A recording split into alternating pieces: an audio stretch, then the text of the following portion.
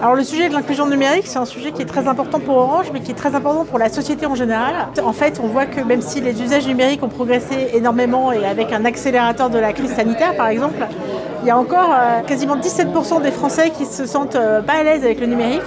Donc c'est vraiment important qu'on ait des actions en fait pour les aider à s'acculturer, à s'approprier ces usages parce que c'est devenu indispensable dans la vie quotidienne. Et euh, c'est ce que veut faire Orange avec son programme Orange Digital Center. Vraiment travailler sur cette inclusion numérique avec des ateliers, des parcours extrêmement concrets pour aider euh, les jeunes, les seniors, euh, les entrepreneurs sur ce sujet. Alors c'est un sujet sur lequel on travaille beaucoup avec des partenaires externes, hein. ici à Nice, euh, Fab Lab, French Tech, les petits et puis c'est un sujet qui mobilise beaucoup nos salariés en fait, parce que c'est un sujet sur lequel ils se sentent vraiment motivés, ils ont envie de contribuer, et donc on a un réseau d'ambassadeurs.